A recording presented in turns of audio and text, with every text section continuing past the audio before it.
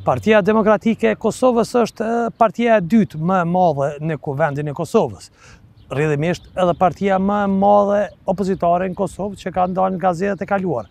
Po pavarësisht kësaj, ndonëse që po qëndron në opozitë që 3-4 vite, Partia Demokratike e Kosovës ende po e ka problem realisht të definojë tonin e vet opozitar. Për shumëkë, Partia Demokratike e Kosovës në një farë forme po përdor shumë eufemizma politike në qasjen e saj, veçanisht ndaj qeverisë. Këto përdorimi i këtyre eufemizmave politike që i bie në fakt mos t'ju thuash gjërave me fjalët që ju përkasin, por të bëjnë një zgjedhje më të butë të saj, për shumëkë po shihet si ta themi një farë ose një frikësim i PDK-së nga përballja me Vetëvendosjen dhe me Albin Kurtin ose si me thënë një kalkulim elektoral që e ka PDK sepse frikësohet që me një ashpërsim ose me një jo me ashpërsim realisht, po me një bërje të një gjuhe të drejtpërdrejtë, mund të, mund të ketë pasoja elektorale. Sidoqoftë, te kritika dhe te vlerat nuk është e heshtur dhe është, është shumë aktive, megjithatë dykuptimësia politike që po e bën në çështjet kryesore të PDK-së, po e bën atë që të duket nga pak inerte dhe e pafuqishme në përballimin me qeverinë e Kosovës dhe kryeministrin Kurti. Ka shumë shembuj të tillë, si me thënë marrëveshja e Ohrit për Partinë Demokratike nuk po quhet që është e dëmshme, po quhet e pamjaftueshme. Ata mendojnë që është e dëmshme, por njëkohësisht nuk bëjnë asgjë, si me thënë, për ta penguar dhe nuk deklarohen se janë kundër saj. Në anën tjetër në raport me ndërkombëtarët dhe qeverinë e Kosovës, PDK, si me thënë, po qëndron si në mes. duke tentuar që t'i bëjë të kënaqur të dy palët, në kuptimin që edhe merr pjesë në zgjedhje në veri, edhe i bën kryetarët atje, edhe i thotë qeverisë Kurti se duhet t'i dëgjosh Shtetet e Bashkuara të Amerikës që përkojnë, kërkojnë zgjedhje të reja në veri, dhe njëkohësisht prapë i thotë qeverisë Kurti se nuk mund të vendosësh ti se çfarë do të bëjnë kryetarët, dy kryetarët e mi në veri.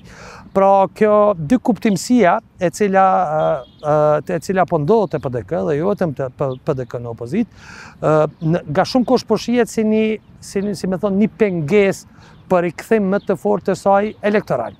Se çfarë do të bëjë PDK-ja politikisht në të ardhmen, nëse do të ketë një qartësim politik, i cili jo domosdoshmërisht nënkupton përballje e kacafytje me pushtetin, por të paktën prezantim të asaj që qëndron sipas kjo parti ditëve të sotme, do të flasim me nënkryetarin e partisë Vlora Çitakun.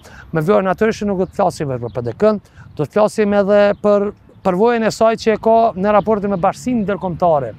Përvojën direkte që vjen nga koha sa ka qenë ambasadore e Kosovës në SHBA kërkush më mirë se një ambasador i Kosovës, si për shembull Vlora Çitaku, Nuk mund të vërejë në praktikë se çfarë ndodh kur raportet janë të mira mes qeverisë së Kosovës dhe Shteteve të Bashkuara të Amerikës dhe kur janë të luhatura ose të të të të thyera këto raporte.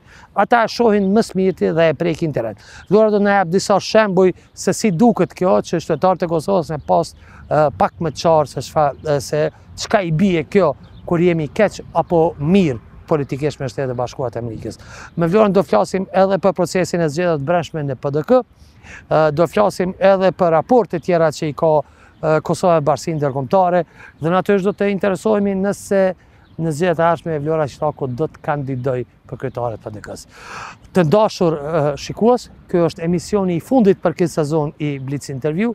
Unë shpresoj që do të shihemi bashkë me intervista të tjera në format të këtillë apo të ngjajshëm. Ju falimderoj shumë secilin nga ju që na keni përcjellë përmes Radio Televizionit Dukagjini, gazetës Blitz dhe YouTube-it. Ju lë tash ta shikojmë intervistën me Vlora Çitakun.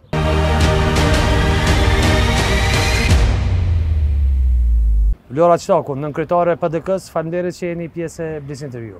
Faleminderit shumë për ftesën. Vlora, po nisëm, do flasim pak ma shumë për edhe me i sqaru pak këto, si me thonë, çka nënkupton në praktikë raporti i Kosovës me Amerikën, po meqenëse kemi pas disa lëvizje, ta themi kështu të fundit. Ishte telefonata e sekretarit të shtetit Blinken me Albin Kurtin. Çfarë sinjali ishte ky? A ka, si me thonë, a është sinjal që ka lëvizje të Kurtit drejt plotësimit të kërkesave të SHBA-së dhe të bashkimit evropian, atyre tri kërkesave, Apo është si me thonë një ndërrim strategjie i Shteteve të Bashkuara të Amerikës, sepse deklarata e parë e Blinken ishte mjaft e ashpër ndaj Kosovës. Unë nuk mendoj që është plotësisht njëra apo tjetra, e vërteta, sipas këndvështrimit tim qëndron diku në mes, Shtetet e Bashkuara të Amerikës janë jashtëzakonisht të investuara në Republikën e Kosovës.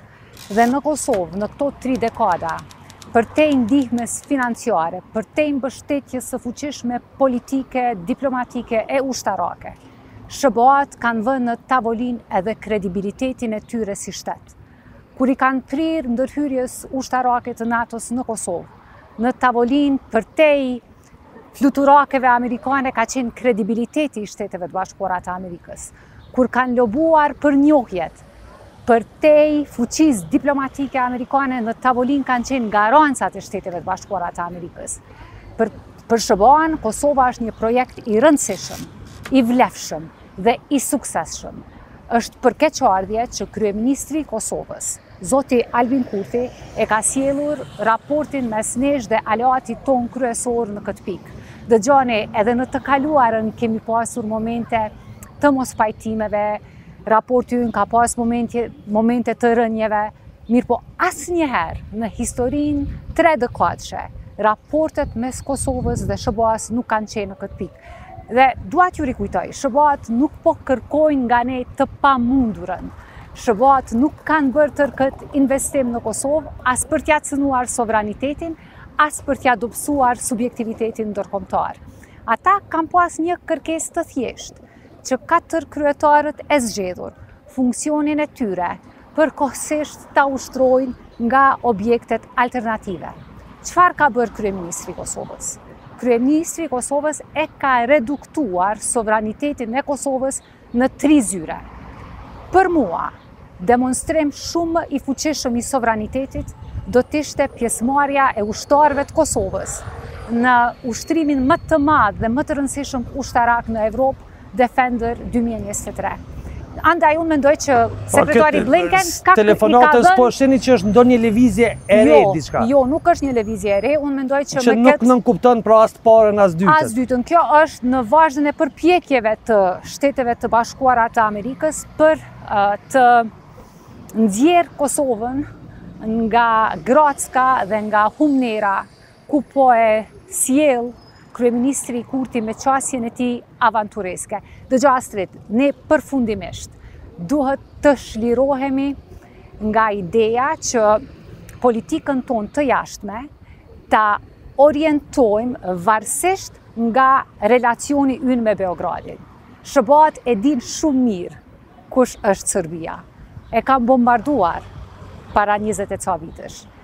SHBA-t dhe Bashkimi Evropian e dinë shumë mirë kush është Vuçiqi, ku janë bandat kriminale. Vetëm në në Washington është një objekt i madh që quhet Executive Building, ku është Këshilli i Sigurisë Kombëtare dhe ka qindra veta që punojnë në mbikëqyrjen e influencës ruse, jo vetëm në Ballkan, por edhe më gjerë. Pra ata e dinë sakt kush është kush. Mirëpo, ne duhet t'u tregojmë kush jemi ne, për çfarë qëndrojmë ne, pavarësisht nga ajo se çfarë bën Beogradi. Ne nuk duhet të diktojmë hapat tona në politikën e jashtme, posaçërisht ato të nivelit strategjik, varësisht nga ajo se çfarë bën Beogradi. Sepse, po të kishim vepruar me atë logjikë, Nuk do të kishim as Rambujenë që na e solli lirinë e as procesin e Vjenës që na e solli pavarësinë. A e dini cili është vendi ma sovran n'botë, Astrit? Shtetet e Bashkuara të Amerikës. Jo, jo, në fakt, edhe SHBA-t koordinohen. Po Shteti më sovran në botë është Korea e Veriut. Po, ato, ato është modeli... E saktë, po ato nuk është tina, se ajo është edhe shteti më i mbyllur. Më i mbyllur, do me thënë, në botën... Asi sovraniteti, s'kisha dashtë me marrë shembull. Nuk i duhet askuj. Pra, në një vend ku i cili është në kontinentin evropian, që aspiron të jetë pjesë e familjes evropiane dhe asaj euroatlantike, në shumë pika sovraniteti është i ndarë. Për shembul, të gjitha vendet që janë anëtare të NATO-s... S'jemi tu folë për sovranitet të Koresë, të po, Koresë. Po, unë nuk po e kuptoj për çfarë lloj sovraniteti po flet kryeministri. A është sot Kosova më sovrane në veri? Se sa para dy vitesh? Nuk është, para ardhjes po flasim për një sovranitet bazik. Nuk është, jo, domethënë, kjo, kjo është banalizim i idesë së sovranitetit. Kryeministri duhet ta ketë të qartë që aleancat janë po aq në mos edhe më të rëndësishme se sovraniteti. Nëse asgjë tjetër, ndërhyrja e paprovokuar e Rusisë në Ukrainë e ka dëshmuar këtë. E kemi parë që po thonë që kryeministri po ka dëshirë ta imitojë Zelenskin. Po, le ta pyetë Zelenskin, sa janë aleancat e rëndësishme, me çfarë po mbrohet Zelenski, me retorikë boshe, apo me makineri ushtarake që po i vjen nga vendet aleate. Pra Kosova duhet të jetë shumë ma e pjekur, shumë më e matur, shumë ma e përgjegjshme, për më tepër që Astrit, ne nuk e patëm situatën dramatike. Rezultati i zgjedhjeve u pranua nga aleatët tanë. Krahasove me Zelenskin, po don me thonë jo, që kryeministri i po- Kosovës po don luftë? Jo, kryeministri, dëgjo, kryeministri i Kosovës... Amin, po të pys për me qartësu, ma shumë. Kryeministri, se as Zelenski nuk ka dashtë luftë. Jo, s'ka dashtë, atë e ka gjetë lufta. Mirëpo, e rëndësishme është mënyra se si sillemi në situata krizash, në situata, se ne nuk kemi nevojë t'i shpjegojmë njëri-tjetrit për veprimet destruktive që i bën Serbia çdo ditë. Besoj që jo. Atë e kemi të qartë. Mirëpo, çfarë ka rëndësi është çka bëjmë ne, si sillemi ne, me keqardhje e them Astrit, e ardhmja euroatlantike e Kosovës, po vihet në rrezik. po vihet në rrezik për një grusht vota. Nuk ka me ju dasht pushteti askujt, as Albin Kurtit, po as PDK-s nesër e askujt në Kosovë, nëse e rrënojmë aspiratën euroatlantike të Kosovës. Dëgjo, jemi në një moment shumë të veçantë, po e shohim një... Se po duket, si me thonë, po e shohim që kena mospërputhje edhe ka pak, si me thonë, Kundërshtime të cilat janë të dëmshme për Kosovën me me me SHBA-të dhe me partnerët. Po ky rrënimi i aleancës edhe i idesë perëndimore të Kosovës nuk po e shoh sepse si me thonë nuk është ajo ideja që po e mban popullin. Dëgjo, ë sepse nuk reduktohet aleanca në banalitet. ë Aleancat dhe orientimi euroatlantik nuk është vetëm deklarim vleror, ka një varg veprimesh, hapash, detyrimesh, përgjegjësish, të dyanshme që marrin palët. Ka një varg kriteresh të cilat duhet përmbushur, ka një varg obligimesh të cilave... Nuk është vetëm shprehje e dëshire. Nuk është shprehje e dëshire, e as nuk është shprehje vlerore. E vullnetit, po. është raport kontraktual. ti merr detyrime dhe zbaton obligime.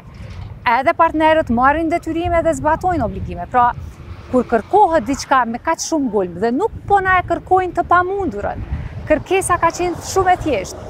Dy kryetarët tanë në veri nuk janë më pak kryetarë, për shkak se po e ushtrojnë detyrën nga zyrat alternative. Realisht janë po aq pak kryetarë. Po janë po aq pak kryetarë për shkak të mungesës së legjitimitetit të plotë qytetar. Pra gjëra duhet thënë ashtu siç janë. Kena me fol për këtë pjesë. Apo nuk na pëlqen. Kena me fol për këtë pjesë. Tash Vlora, kena me fol për këtë pjesën e kryetarëve në veri, se aty kam gjëra të cilat du me i diskutu me juve si PDK. Ë, po zdi ke po, si me thonë, kur Ishte ndërhyrja e parë, ta themi, pëshu ndërhyrje, shkuarja në veri me polici për t'i vendosur kryetarët e komunave në objekte të komunave. Kryetari i Mitrovicës nuk është në objektin e komunës së Mitrovicës, është në një objekt tjetër të nejtë. Po, le do që sa do qofte ato e kena marë që është që aty ku duhet. Ndaj, reagimi ka qenë kryesisht fajësues ndaj Kosovës. E kam përshtypjen që në një farë forme gjatë rrugës, Ë, posaçërisht me me sulmin ndaj KFOR-it edhe me rrëmbimin e tre policëve, në njëfarë forme edhe Serbia e ka kalu e ka e ka prek një vijë të kuqe edhe të amerikanëve dhe tjerëve, si me thonë ka ndrru gjuha pak, nuk kanë ndrru obligimet e Kosovës, po ka ndrru gjuha pak. E pamë edhe letrën e tetë senatorëve. Nëse e bëjmë, nëse e shohim, theksi i fajit është Serbia dhe jo Kosova. Po. Pra në një farë forme Nuk është që disa gjëra nuk kanë nuk janë bërë nuk, nuk i kanë pa me sy të tyre edhe edhe amerikanët. Një Vuçiq të lastuar ta themi kështu. Amerikanët i kanë pas gjëra jo të qarta vazhdimisht. Jo nuk është që ka ndonjë po, befasi po, për shtetet nuk e din sa, e bashkuara. Sa, sa mundet me thonë dikush që e laston ka pak. Po, e vërtetë, mirëpo, nuk, ka, nuk kemi pas, nuk ka asnjë lloj befasie për Shtetet e Bashkuara të Amerikës se kush është Vuçiqi. Mirëpo një gjë duhet ta kemi qartë, nuk krahasohet investimi amerikan në Kosovë me investimin amerikan në Serbi. Jo, jo, e përmenda e ma edhe më herët, është kredibiliteti i SHBA-së në pyetje. Kam qenë prezente në shumë situata aspekt. Eskobar, tha e kemi një shtet miqësor dhe një Serbi që po dojmë ta bëjmë miqësor. Ta bëjmë miqësor. Unë kam qenë personalisht në shumë situata, kur Institucionet prezente kur institucionet e Kosovës kanë ndërmarrë ndonjë veprim i cili nuk është pëlqyer apo përkrahur nga aleatët tanë. Vendet, jo vetëm vendet jo njohëse, por edhe vendet njohëse, para se të vijnë e të bëjnë demarshe apo të ankohen tek ne, ata shkojnë dhe ankohen tek SHBA-të. Ju ja, na keni thonë ja, me njoft. Ju na keni thonë me njoft, ja çka keni krijuar. Kështu që duhet kuptuar edhe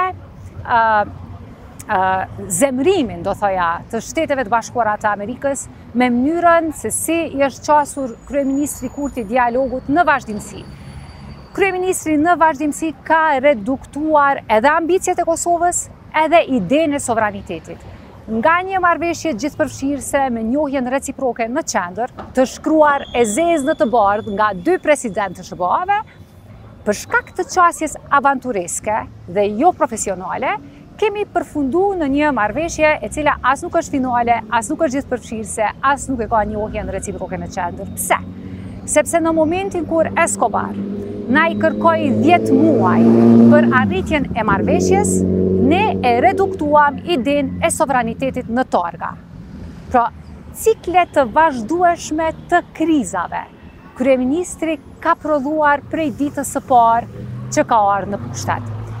Ai edhe nesër mund t'i pranojë tri kërkesat e bashkimit evropian dhe SHBA-ve dhe unë shpresoj që ai t'i pranojë. Po a bëhet ashtu më keq. Dëmi, dëmi i pariparueshëm Kosovës tashmë i është bërë. Jo pytja është a bëhet më keq, në qofë se i pranon, si me thënë, mas tënë këtij kësaj krize e konfliktit. Po, nuk do të ketë rrugëdalje tjetër, është vetëm çështje kohe. Mirëpo, çfarë dëmi i është bërë Kosovës dhe a është më e fortë Kosova sot, apo ka qenë më e fortë para dy vitesh? Kësaj pyetje ne duhet t'i japim përgjigje. Vlora, po do me m'u kthy pak, po do me më dalë pak te një farë përshkrimi, kapak se shumë shumë nga ne, ne që jemi gazetarë, kapak edhe dimë se jemi në rrjedha, po unë besoj qytetarët e Kosovës kanë nevojë kapak me ju dëshmu Çka i bjen me kon mirë me Amerikën e çka i bjen me kon keq me Amerikën kur je ambasador i Kosovës, kur je në Amerikë, ty, ty, ty, duke qenë, kur, kur je në Amerikë. Keni qenë ambasadore në Washington, edhe para se të bëheni ambasadore, keni pas në vazhdimësi në një farë formë, keni konë, një farë ministre e jashtme e PDK-së, sepse i keni mbaj shumicën e kontakteve kryesore të, përpos kryeministrit e kryetarit të PDK-së, me, me, me aleatët, me shtetet e bashkuara, me Gjermaninë e gjëra tjera. Ke qenë ambasadore në Washington. Bash ta atyne që i din, u kon një letër e ambasadorit. Qysh janë sot raportet e Departamentit të Shtetit me ambasadorin dhe ambasadën e Kosovës në Washington? Unë, sinqerisht, nuk do të doja të isha në lëkurën e ambasadorit Ilir Dugolli. Ambasadori Dugolli është një profesionist, është diplomat i karrierës, i ka shërbyer Republikës së Kosovës me nder dhe me përgjegjësi, por në këtë rast nuk po e them se kam folur me të, sepse nuk kam komunikuar. Po, unë besoj që flet se aty njerëzit ka. Unë ndiej keqardhje për pozitën në të cilën ndodhet ai, sepse unë e di se sa e ftohtë mund të jetë ajo zyrë kur nuk troket askush në derë, kur reduktohet numri i ftesave, kur çdo takim fillon, nëse ka takime, fillon me kërkesa, fillon me zhgënjim, me shprehje shqetësimi, e kështu me radhë. Mirëpo, ambasadori ka shumë pak në dorë. Çka bën ambasadori i SHBA-ve, Vlora, se ke qenë në situata të ngjajshme, po thoshit. Jo të këtij niveli. Jo të këtij niveli, po të ngjajshme, më të shkurta, më epizodike ta themi. ë Por kur kur si me thonë nga poshtë qeveria e Kosovës dhe qeveria e Shteteve të Bashkuara të Amerikës kanë mospërputhje, kanë antagonizma, çfarë bën ambasadori i Kosovës në Washington, rrin n'zyre i kqyr muret apo vazhdon me pas takime e gjona t'tilla. A nihet ma shumë i boshatisur e i braktisun një person në një oqean vetë? I boshatisur edhe i braktisur më shumë nga institucionet e vendit që... Jo kështu në realitet. Në realitet shumë i vetmuar. është një vetmi e madhe. Në kohën kur... Sepse si ta themi, ambasadori është kontakti i parë. A e shem i pari, kur janë mirë, edhe kur edhe më qartë, edhe më brutalisht, sepse ndonjëherë mesazhet sidomos kur i komunikohen dallon në nuanca, por jo në esencë, mesazhi kur i komunikohet ministrit, presidentit, kryeministrit, dhe mesazhi kur i komunikohet ambasadorit. Me ambasadorin nuk ka filter, ta zëmë përfaqësuesi i Departamentit të Shtetit ose nuk përdor filtera, ia thotë qartë, brutalisht, drejtpërdrejt, gjërat ashtu siç janë. Në ndërkohë që në nivel më të lartë, sigurisht që mesazhi është më i sofistikuar, më i më diplomatik. Më diplomatik. Mirëpo unë mund ta marr me mend që ambasadori po kalon në një periudhë jo të lehtë, pa fajin e tij. Për shembull, keni qenë ambasadore në kohën e taksës, atëherë kishte një përplasje me Shtetet e Bashkuara të Amerikës. Keni qenë ambasadore edhe në kohën e pa e shkoj ma shkurt, kohën e tentimit për shfuqizimin e gjykatës speciale. A t'u patën mbyllë dyert atëherë. Fatmirësisht kanë zgjat Po, po para të shkos ajo shumë shkurt. Qysh shkon me qenë ambasadora, më shumë shkon në OKB, shkoj që na i ka rrishë me zyre. Në ato momente kontaktohesh vetëm kur kanë për të përcjellur një mesazh për qeverinë apo për institucionet. Mirëpo, çdo projekt tjetër pezullohet, suspendohet. Nuk mund të shkosh dhe të flasësh me Senatin, me Kongresin për fuqizimin e ushtrisë të Kosovës, për shembull, ose për rritjen e... Për çkado qoftë? Çfarëdo lloj projekti që... S'ke qasje fare? Jo, ekziston vetëm një temë, edhe atë nëse ata të ftojnë për ta përcjellë po. mesazhin. Po përndryshe është shumë, shumë, shumë e vështirë për të depërtuar. Për më tepër që në SHBA, tash e ca kohë, jemi edhe pa kompani lobimi. Unë mendoj që ka qenë gabim strategjik, sepse ndonjëherë... Kush e hek edhe kur kompanitë e lobimit? Nuk e kam të saktë, po nga koha prej se ka ardhur Kryeministri Kurti në qeveri, kam përshtypjen që ka ndërprerë kontratat e lobimit. Në fakt janë ndërprerë në kohën e Kurtit një, kur e pat marrë për një A u ndërprenë atë kohë se ishte po. akuza që po lobojnë po, më shumë për PDK-në po. se për Kosovën. A bonin këtë? Nuk mundesh me bërë, dhe kjo është një nga akuzat më qesharake. Së dhe nda ju shka pos këtë i ka të tjilë. Dhe nuk ka gjë më qesharake, se sa të mendohet që mund të shkosh si ambasadore e Kosovës në SHBA, po flas, se nuk e di si është në vendet tjera, por në SHBA, nuk mund ta përfaqësosh asnjëherë subjektin politik. Ti mund të shkosh në një takim, dhe të flasësh si përfaqësuese partie, por takim të dytë nuk merr, sepse ata nuk humbin kohë. Askujt nuk i intereson në Washington peizazhi i brendshëm politik. Bile bile shumë pak prej tyre e dinë kush është LDK-ja, PDK-ja, VV-ja. Atyre ju interesojnë kush është kryetari, kush është, kryeministri, edhe ata që duhet me marrë... Me marrë vendime, kështu që këto janë akuza qesharake. Dhe Vlora, kjo kontrasti tash se na folim shumë çka i bjen kur jena keq. Çka i bjen kështu në praktikë kur si me thonë raportet mes dy shteteve janë të mira? Çka atë në praktikë për ambasadorin? Në praktikë e ke shumë të lehtë të shkosh për shembull. E, e kam diçka që kam bërë vetë për po. shembull. Fillimisht Kosovës i është dhënë projekti i MCC-së në nivel uh, threshold quhet. Është program shumë i vogël, shuma ka qenë 50 milionë euro, falë punës, angazhimit dhe raporteve të mira, e kemi ngrit në nivel kompakti dhe shuma ka qenë mbi 200 milionë euro. Pastaj është bërë transformimi i mandatit të FSK-së në ushtri, falë SHBA-ve, pastaj shumë e shumë gjëra tjera. Pra, mund të merresh... Shkon në Këshill të Sigurimit të OKB-së, mban fjalim. Po, e koordinon me... Me... Deshta me vet, a jo, koordinohen fjalimet, po apo jo. Po, së paku, unë e kam koordinuar. Domethonë, jo fjalë për fjalë, po... Natyrisht. I ndan pikat që do t'i diskutash. Ne falë këtij koordinimi kemi arritur që ta reduktojmë frekuencën e raportimit, sepse në Këshill të Sigurimit flitej më shumë për Kosovën sesa për Sirinë a Somalinë. Dhe falë këtij koordinimi dhe unë mendoj që ky ka qenë suksesi më i madh në OKB, kemi reduktuar frekuencën e raportimit nga katër raporte në vit në dy. Dhe plani ka qenë që t'i mbyllim këto seanca, po ja që nuk jemi aty. Dhe me u kthy kështu.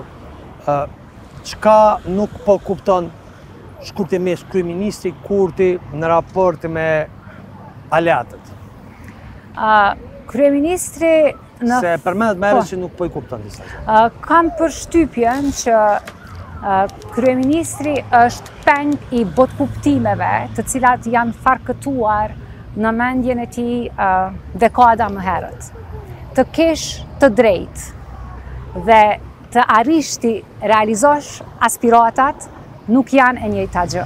Ka plot popuj, anekënd globit, që kanë të drejtë edhe historike, edhe politike, po asnjëherë nuk arrijnë t'i realizojnë aspiratat e tyre në mungesë të aleancave. A mos është ndoshta një ngopje nga po-të e shpeshta të Kosovës?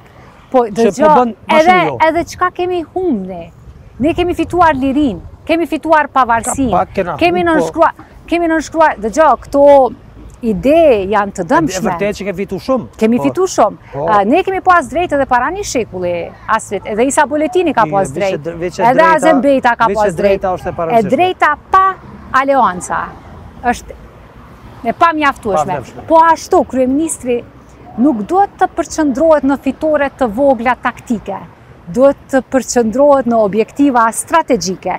A është ma e rëndësishme targa apo partneriteti për paqe? Cila të bën vend ma sovran? Kështu që mendoj që ka një keqkuptim të madh nga ana e kryeministrit, sepse ende po refuzoj të besoj që në mënyrë të qëllimshme po sillet në mënyrë kaq avantureske dhe shpërfillëse me aleatët tonë. Faleminderit Vlora. Vazhdojmë pjesën e dytë me me pak me qëndrimet e PDK-s, me çfarë opozite do me bë PDK-ja dhe me veriun atje i keni dy kryetar.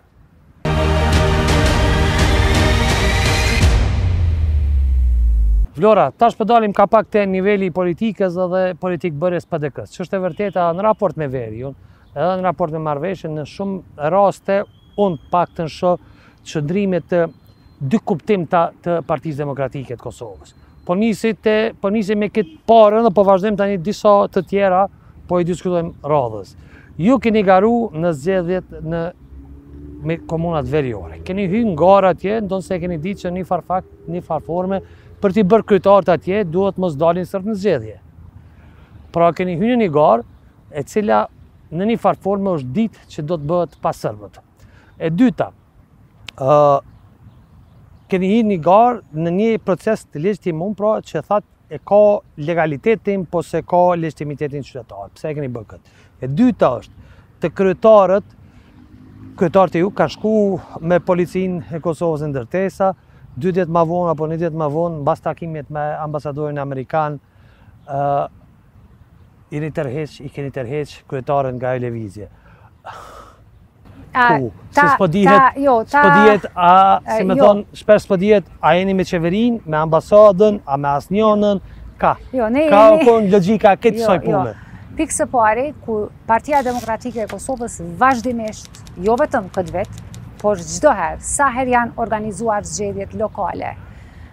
në pjesën e komunave veriore ne kemi marrë pjesë, sepse kemi dashur të jemi pranë qytetarëve tanë që jetojnë në kushte shumë të vështira në pjesën veriore të vendit.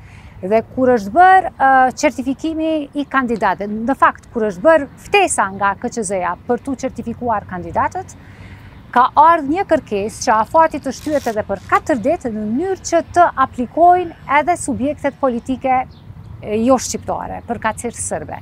Pra ne kur kemi hyrë në garë, kur kemi kompletuar aplikacionin, ne nuk e kemi ditur se a do të marrë pjesë lista sërbe në zgjedhje apo jo. Dhe pavarësisht pjesëmarrjes së tyre, ne kemi kandiduar më herët. Partia Demokratike e Kosovës e ka pas të qartë, edhe atëherë edhe tash, që legitimiteti politik i kryetarëve të zgjedhur, jo legaliteti, legjitimiteti qytetar është i lënduar. E përse keni vendos me, po, hy në këtë legjitimitet të lënduar? Siç thashë, kur kemi dorëzuar aplikacionin, nuk e kemi pas të qartë, A do të aplikojnë edhe partitë tjera jo shqiptare, apo edhe nuk do të prodhonte asnjë lloj rezultati. Edhe sikur kryetarët tanë, sot të japin njëanshëm dorëheqje, zgjedhjet duhet të thirren pas 45 ditësh. Dëgjo, po, unë nuk po e them që duhet të bëjnë të ashtu. Ne, po kryetarët, tek çështja e dytë, e objekteve, Ne... Shku me polici, pastaj... Jo, nuk kemi shkuar, po besoj që kjo tashmë është thënë dhe dihet botërisht. Kryetarët tanë e kanë dhënë betimin në zyret alternative, jo në objektet komunale. Ditën e dytë janë ftuar në takim nga Ministri i Pushtetit Lokal për të marrë pjesë në një takim të përbashkët që u është thënë se do të mbahet në zyrën e kryetarit të komunës së Mitrovicës Veriore. Dhe në një formë, kryetarët tanë janë mashtruar dhe janë futur në vetura dhe janë dërguar në objektet komunale. Si po e quni mashtruar? Sepse u është thënë se po shkojmë në takim, kanë shkuar me polici, u është thënë se po shkojmë në takim me ministrin, e pastaj janë dërguar në zyrat komunale. Dëgjo, Nuk është demonstrim i sovranitetit ngujimi në zyre. Nuk është demonstrim i shtetësisë ngujimi në zyre. Por ju keni, jeni hy në, jeni bërë pjesë e këtij procesi me marrjen në zgjedhje. Ne, po, ne, ne jemi pjesë e sistemit demokratik në Kosovë, sistemi demokratik dhe kushtetues nuk është uh, si të themi krim, përkundrazi, ne inkurajojmë si, të gjitha si, partitë politike. As s'e trajtoj si, s'e trajtoj ne, personalisht si të gabushme, por po bëj pyetje Për logikën. Edhe, edhe siç thashë, sepse e kemi bërë vazhdimisht, për t'u qëndruar pranë qytetarëve tanë që jetojnë në kushte jashtëzakonisht të rënduara në pjesën veriore të Kosovës. Mirëpo ne kemi dëgjuar këshillat dhe rekomandimet e aleatëve tanë dhe aleatët tanë e kanë mirëpritur qëndrimin dhe vendimin e kryetarëve tanë të zgjedhur që funksionin edhe ashtu të kufizuar për shkak të pjesëmarrjes së ulët në zgjedhje ta ushtrojnë nëpër zyret alternative. Dëgjo Partia Demokratike e Kosovës edhe sot i bën thirrje kryeministrit që të pranojë kërkesat e Shteteve të Bashkuara të Amerikës dhe të Bashkimit Evropian. Gjendja në veri, po. Sepse ne nuk po rrezikojmë, nuk po rrezikojmë. Kërkesë është me shku n'zgjedhje veriu. Prap. Dhe e kam dëgju me veshët e mi, besoj edhe kryetarin e PDK-së që tha nuk mundet Albin Kurti me i shpall zgjedhjet kur don vetë. Tash çka me bo? Jo. A me ngu veri unë? Cili është qëndrimi i PDK-së, me shku në zgjedhje, apo mos me shku në zgjedhje? Nuk është citim i saktë. Hajde, dhe.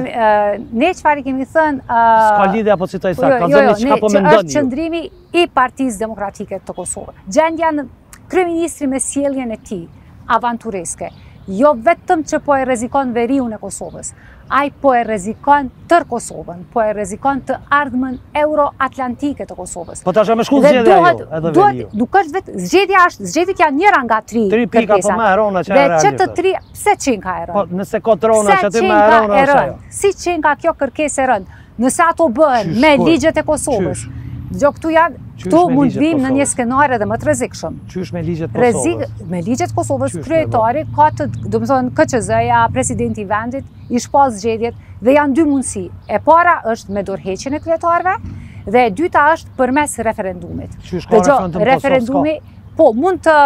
A ka ligj për referendum?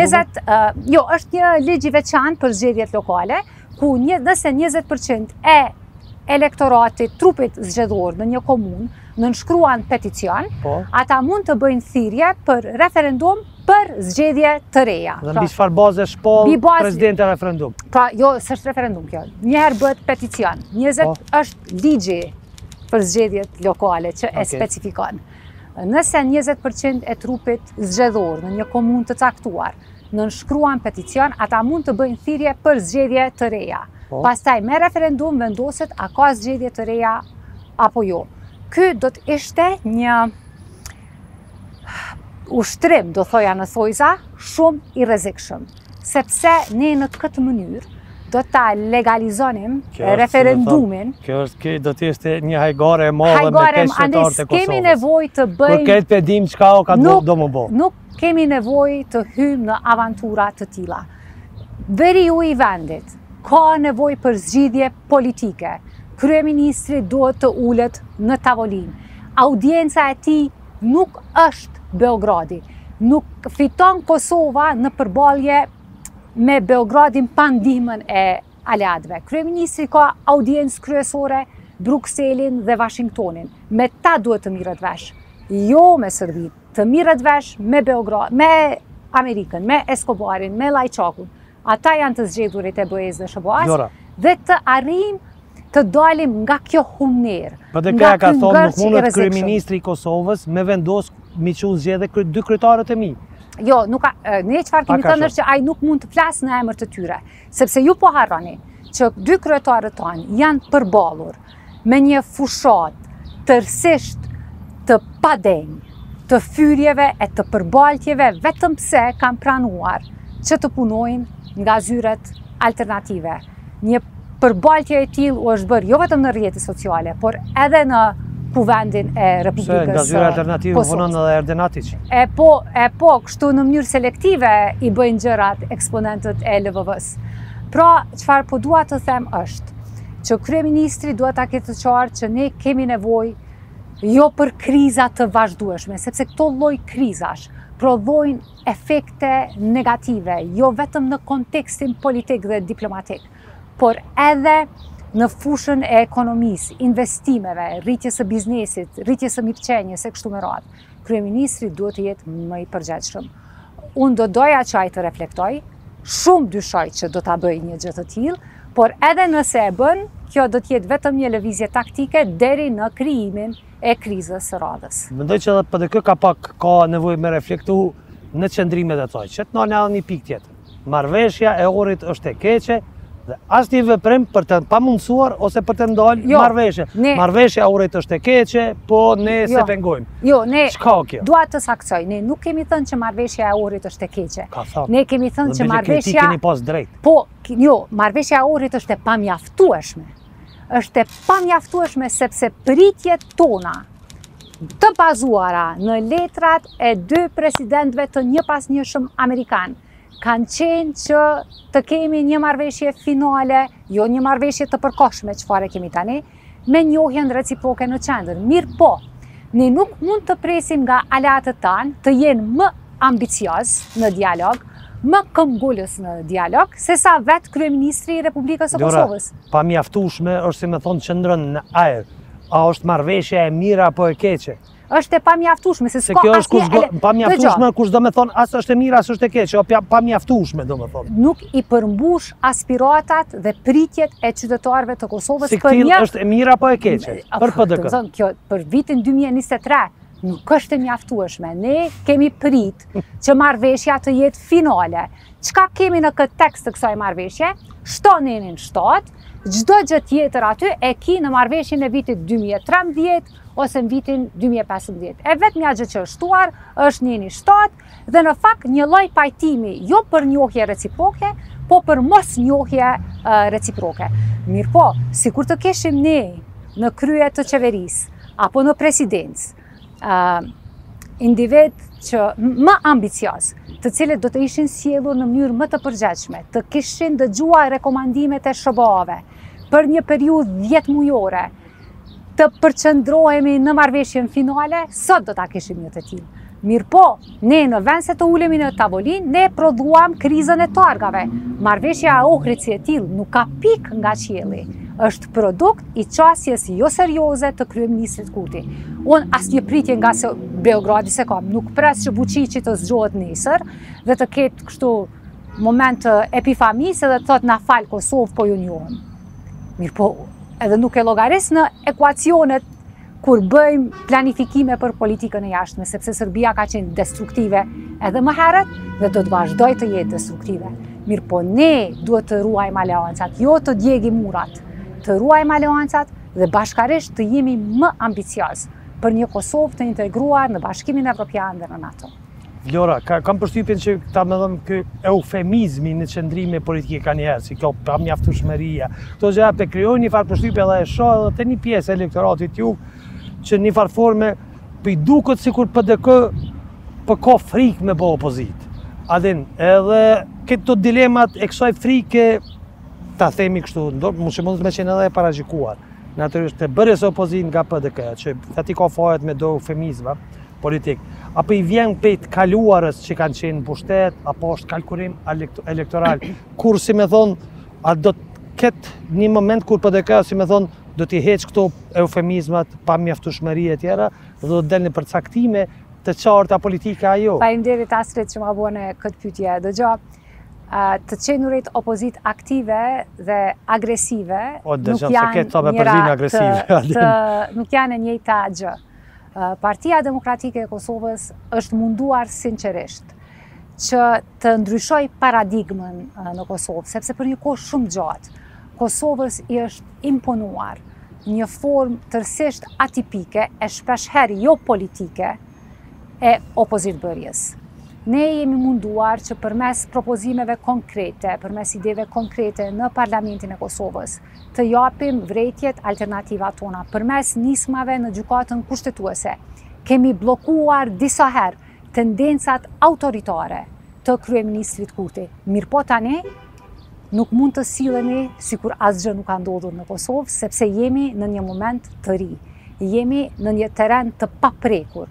Koso dhe nuk po e them këtë lehtësisht, se unë fjalë fjala ka peshë. Kosova sot është në rrezik. E ardhmja evropiane, euroatlantike e Kosovës është në rrezik dhe Partia Demokratike e Kosovës nuk do të simulojë normalitet. Nuk do të simulojmë normalitet në Parlamentin e Kosovës. Nuk do të simulojmë normalitet në shoqëri të hënën, sepse nuk duhet pritur deri të hënën. Të hënën e kemi mbledhjen e këshillit drejtues. të Partisë Demokratike të Kosovës, e kemi thirrë para disa ditësh, do të mbahet ditën e hënë, aty do të merren disa vendime të mëdha dhe të rëndësishme, të cilat do të definojnë... Çka është në rend dite për t'u vendosur? Janë hapat e mëtejmë që do të ndërmarrë Partia Demokratike e Kosovës në parlament dhe jashtë tij për të synuar që të ndalë tendencat rrënuese të kryeministrit Kurti. E cilat munden me qenë e di që s'është vendim. Nuk mund t'i po, them edhe jo, nuk, po, nuk do t'i ndihmoja po procesit. Çka po shkon ndërmend që munden me qenë hapat? Ka, po, pës personalisht. Siç thashë, jo, unë jam nënkryetare, nuk mund të përgjigjem personalisht. Okej, si nënkryetare. Por, uh, uh, po ju them që ne nuk do të simulojmë normalitet. Nuk mund, nuk është patriotike sot, që të simulojmë normalitet në jetën publike dhe parlamentare në Republikën e Kosovës. Nuk mund të sillemi sikur s'po ndodh asgjë. Nuk mund të mblidhemi në parlament dhe të votojmë ligjin për ku po ta di unë të drejtat e autorit, ndonëse është shumë i rëndësishëm, në një kohë kur po rrezikohet e tërë Kjo krijesë që e kemi ndërtuar me gjak, me mund dhe me djersë me gjenerata të tëra. Ne do të përshkallëzojmë hapat, po për detaje duhet të presni deri të hënën. Okej, Vlora, po kthehemi tash te, te, te PDK-ja. Zgjedhjet e brendshme janë shtyrë. Për çfarë arsye deri në çfarë kohe Qysh planifikohet me ecë tutje? Jo, nuk ka vendim për shtyrje, ne ende jemi brenda mandatit, në fakt tani janë bërë dy vite prej kur kryetari Krasniqi... Sa ishte me 16 qershor më duket? Jo, në korrik, me sa e mbaj mend. Korrik bërë? Po, është bërë kryesia e Partisë Demokratike të Kosovës. Kryetari është zgjedhur ma herët, por kryesia më vonë. Mandati është me kryesinë, Po, e vërtetë. Ndërkohë që ne presim që Gjatë mbledhjes së të hënës të diskutojmë edhe për këtë çështje dhe sigurisht në mbledhjet e radhës do të bëhet edhe shpallja e zgjedhjeve të brendshme. Mirëpo për të hënën nuk është në rend dite sepse kemi disa çështje shumë të rëndësishme për të diskutuar. Dhe po, si me thonë, nëse hym në atë proces, a mendoni që du, Që është e shë, do të ishte e shëndetshme, si me thonë për PDK-në, që një garë të mbrendshme të hyet me, me kandidatura, me potencial polarizimesh, apo jo? Jo, sigurisht që është e shëndetshme gjithmonë që të ketë konkurrencë, që të ketë platforma të ndryshme, Jo domosdoshmërisht polarizime të skajshme, mirëpo që të ketë një konkurrencë dhe një debat të shëndoshë, mirëpo nuk jemi ende në atë moment kur jemi mbledhur për të shpallur zgjedhjet, sepse siç thashë, gjendja në Kosovë nuk është normale. Po pra ata po Nuk mund të simulojmë sot normalitet në jetën politike dhe në jetën publike. Po përballemi me një situatë tërësisht të re, një terren komplet i paprekur për Kosovën. Asnjëherë më parë ne nuk jemi sanksionuar nga Bashkimi Evropian dhe nga Shtetet e Bashkuara të Amerikës në këtë mënyrë. Kështu që ne në mbledhjen e radhës do të diskutojmë për hapat e mëtejmë që do t'i ndërmarrim si PDK e sigurisht në të ardhmen e afërt do të diskutojmë edhe për mbajtjen e datën e shpalljes së zgjedhjeve të brendshme. E kaluar e përmend shumë. A kishe kandidu për kryetare të PDK-s? Jo, as nuk e kam çuar në mend që t'ju them të drejtën. E di, po je përmend shumë herë në t'kalumen. E di që jam përmendur, mirëpo nuk ka qenë asnjëherë, nuk e kam menduar fare, e nuk e kam menduar as tani, mirëpo kur t'vijë momenti i shpalljes së zgjedhjeve, do t'ulemi, do diskutojmë dhe shohim tutje. Dëgjo, ne duhet të çlirohemi si mendësi nga ideja që një njeri vetëm, qofsha unë apo dikush tjetër i vetëm, mund të prodhojë ndryshimin. Kosova ka nevojë ta ndryshojë këtë paradigmë. Kosova ka nevojë për kompetencë, për ekipe. Një njeri ndonëse mund të jetë i mrekullueshëm, i vetëm nuk mund të bëjë asgjë. Është e kuptueshme se në qoftë se s'kemi, si me thënë, demokraci të brendshme, konkurrencë, Në brenda partive politike atëherë si mund të kërkojmë ne që të kemi në nivel të shtetit. E vërtetë, e vërtetë. Partitë politike në fakt janë... Por edhe ato duhet të vijnë natyrshëm, jo të simulohen sa për hir të garës. Gara duhet të vijë natyrshëm dhe do të shohim PDK-ja ka shumë kuadro. ka shumë gra e burra të zotë, të cilët kanë dhënë shumë edhe në të kaluarën e kanë shumë potencial që të japin edhe në të ardhmen, po secili në fund fare vendos për vete dhe secili është dhe secila është i mirëseardhur që t'i hyjë garës në momentin kur të shpallen ato. Vlora, faleminderit shumë se po të shoh që tërë kohën të kanë lotu sytë, nuk po, je tu kajt, jo. po prej diellit, faleminderit shumë për intervistën. Faleminderit, faleminderit.